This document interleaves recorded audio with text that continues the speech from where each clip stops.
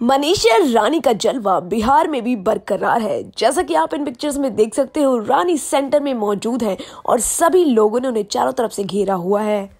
और इन पिक्चर्स को देखने के बाद आप मनीषा की पॉपुलैरिटी का अंदाज़ा लगा सकते हो। वैसे मनीषा को तो पूरे इंडिया से ही प्यार आता है। कुछ तस्वीरों में आप मनीषा के साथ उनके फैमिली मेंबर्स को भी स्पॉट कर सकते हो। कुछ दिनों में मनीषा बिहार से वापस आ रही हैं और वो अपने न्यू प्रोजेक्ट्स की शुरुआत भी करने वाली हैं। वेल well, आप कितने एक्साइटेड हैं रानी के न्यू प्रोजेक्ट को लेकर? Latest in the comment section